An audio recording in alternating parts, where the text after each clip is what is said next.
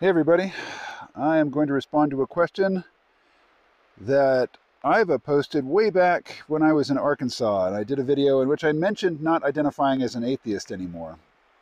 So she writes, can you expand a bit on former atheist or maybe point to a video that explains how and why you went from atheist to agnostic? Thanks. So first let's have a look at a chart. This, I think, comes from Dawkins or, you know, people of his, uh, his ilk. Richard Dawkins, of course, uh, who, who for me, when I was in college in the 90s, uh, Dawkins was a very influential figure for me. I absolutely loved and got great value from the books The Selfish Gene, The Blind Watchmaker, and The Extended Phenotype. These are largely talking about how evolution, a blind, purposeless process of selection according to fitness in the environment and random mutation can generate very complex organisms. Uh, this is, it's like a career-long refutation of the Paley's watch argument, which is the argument that says if you're walking in the wilderness and you look down and you find a watch, it's got all of these small machined parts that clearly fit together, that has a function. It was made by somebody. You can tell that it had a designer and a purpose in mind. And, you know, compared to a watch, a human body, is far more complex, fiendishly complex. You know, the, the human neocortex, as Terence McKenna liked to say, uh, is the most densely ramified and complexified object in the known universe. Yeah. so anyway, uh, I, I mention all that to say that I came from a position of being a Dawkins fan. Like, I've met the man. Uh, I'm also a Doctor Who fan, and his wife was an actress on Doctor Who. Met her too. Um, fun. I, I, I, like that. And then when the whole new atheist thing hit, I, I guess it started with Sam Harris publishing uh, Letter to a Christian Nation, which I've not read. Dawkins, uh, Christopher Hitchens, who you know I like for a lot of reasons, but I think his his atheism was strident, uh, and uh, Daniel Dennett, you know, who I'd read a lot of Dennett stuff. Uh, you know, he's a philosopher, a philosophy professor, and I'd read a lot of his material uh, as a grad student, you know, a philosophy grad student. So I really liked Dawkins and to see all of these guys come together under the banner of new atheism and it's just this sort of tired, flat-footed, tribal, you know, antagonism towards Christianity. Now, I, I, understand a lot of people who are not Christians have been abused by Christians. People who are not Muslims, Buddhists, uh, you know, whatever, Hindus have been abused when they were the minority in a larger, in a community that was dominated by a particular faith. Yeah, it happens. It's not unique to religion, uh, but my own position is agnostic. But look at this chart. Agnosticism, or basically um, epistemology. How do we know? What constitutes knowledge? What constitutes evidence? That's one axis on this graph. The other axis is belief, or you could say uh, ontology. You know, what exists? What is real? The agnostic theist category doesn't make much sense to me, except as I understand that, you know, there is not sufficient evidence in a rationalist framework to conclude that God is real, but I have faith. I believe anyway because I was raised that way, because I've had experiences, or because I just have a feeling, or because, you know, that's, that's the universe I prefer to inhabit. All the others, I guess also uh, agnostic, well, atheism. Theism is the belief in God. Atheism is the lack of said belief. If you are an atheist, it doesn't mean that you insist that God doesn't exist. It means you just don't believe. There's the, the insistence that God does not exist, that we live in the Monday morning world, uh, you know, the rationalist material world of, you know, forces and objects and rules to govern their interactions and stuff just happens according to those rules if you believe that, then to me, any sort of non-agnostic position to me is a faith-based position.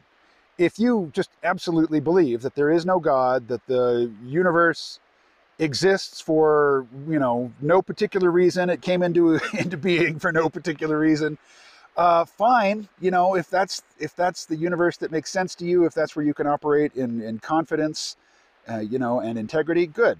But I, I don't I just don't see any reason to elevate your belief to some some exalted position because from my perspective there's no more evidence for it than evidence for theism. I mean the, the point of both theism and atheism is that given our particular point of view and framework and context, they both they both seem to fit our observations of the world. Now I've never seen anybody come back from the dead. I've never seen anybody multiply loaves and fishes and feed a multitude with what was supposed to be one kid's lunch. I've never seen that happen. So, you know, the the biblical story doesn't fit my context. And I know that Christian apologists explain that away uh, with like, you know, there was a time when God was more active in the world and now he's pulled back, I think. But my larger point being this, I don't know. You know, you know the simulation hypothesis, the idea that we're living in some sort of ancestor simulation, uh, that you know baseline reality is is far from here. Anytime you can, if if baseline reality supports the possibility of conscious entities living in simulations, then chances are we're in a simulation. Particularly if those simulations can stack. Like there can be a simulated reality full of conscious beings who themselves create simulations which also have conscious beings in them. If that's possible, then just statistically speaking, you know, this is the Nick Bostrom argument, uh, it's extremely unlikely that we are living in baseline reality. But I can't tell. I don't know. Um, so to me, staking like an absolute conviction on whether or not we're in a simulation just doesn't seem to be justified. Now, I understand there are people who claim to have arguments that are evidence based to say that we're not in a simulation. I don't understand those arguments. I don't have the equipment or the technical knowledge or the funding to double check, you know, their their claims. So to me, accepting such an argument would be an act of faith. And it would be motivated by, you know, a desire to be comfortable in a particular world, you know, and, and to insist that the world that I'm most comfortable operating in is the one that I'm actually operating in. But I don't know. I don't know. So I am agnostic. And there's there's two kinds of agnosticism as far as I'm concerned. There's strong and weak. The the weak agnostic the weak agnostic says I don't know. The strong agnostic says you can't know. It is impossible to know. I'm a weak agnostic. I don't know. Maybe there is a way to be certain uh, that is that is you know epistemologically kosher. If there is, I don't know. I don't know what it is. So I just have to pick according to you know other criteria, and I listed them earlier. Being confident, being you know capable of navigating a particular type of world, uh, it making sense. For me, the world that makes sense is the rationalist materialist world. You know, there are no gods, there are no demons, uh, there are no aliens who have visited Earth because those are just demons and fairies and shit. Um, and you know, the, the world, the universe is rule governed. It, it operates predictably if you know the rules. Um, and as far as I can tell, science has figured out a great many of those rules. You know, all of them? No, but a lot. And so the success of science and the ability to take scientific principles and use them to create novel and powerful technologies, to me, is a strong argument, or it's it's it's good um, it's good evidence, you know, for the the probable correctness of the rationalist materialist scientific view. But I've been to the Peruvian Amazon to drink ayahuasca on many occasions, and when you're in the Peruvian Amazon in an ayahuasca ceremony, and the spirits are flying around and people are reporting all kinds of encounters and whatnot and you hear the voices speaking to you. Well it's like this meme. Crossfit huh says the very muscular chimp. That's cute. You know that's what the uh, the ayahuasca uh, entities say to me you know when i'm rehearsing my rationalist materialist um, perspective. They say oh atheist huh? That's cute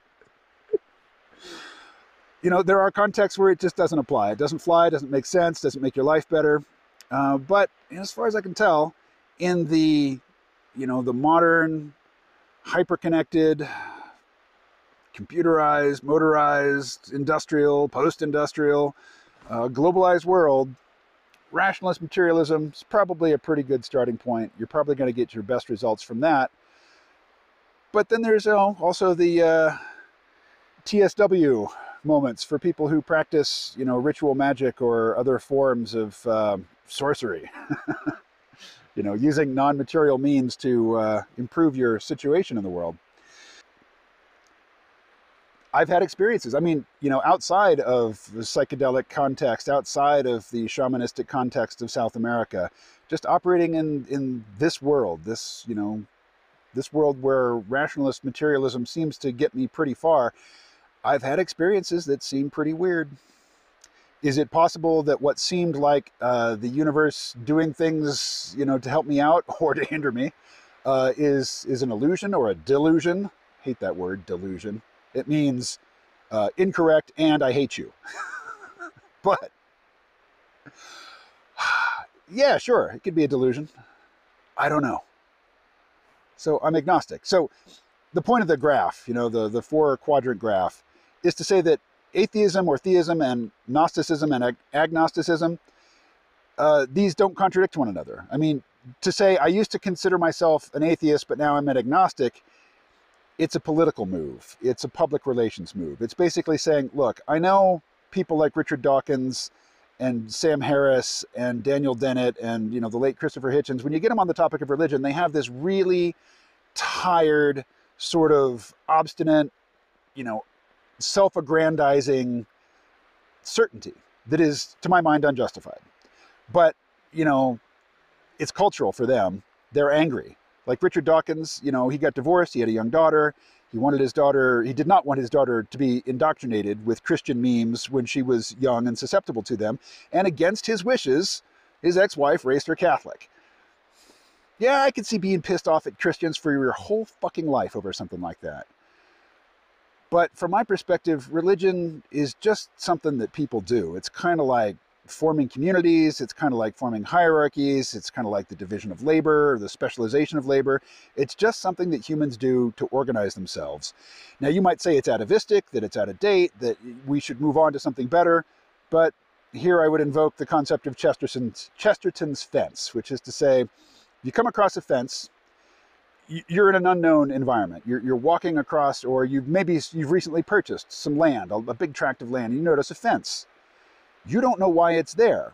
Well, the heedless thing to do is to tear it down because it doesn't suit your purposes, it doesn't suit your vision for what this land should be, but you don't know why it was erected in the first place. So, a sort of precautionary principle is if you don't know why it was put there to begin with, leave it.